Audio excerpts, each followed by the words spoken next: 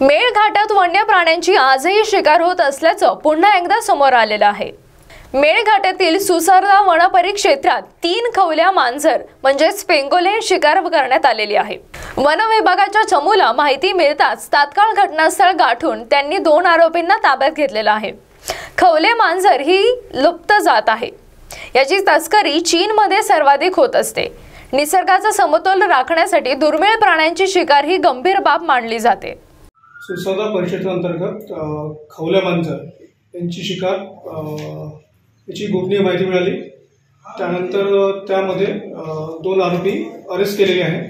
त्यांचा आपण F C R घेतलेला आहे सोमवारपर्यंत सत्तावीस तारखेपर्यंत. आणि त्यामध्ये जे बाकीचे आरोपी इन्व्हॉल्व आहेत त्यांचं पण इन्व्हेस्टिगेशन सुरू आहे. Anirudh Ugale Zoom News Amravati.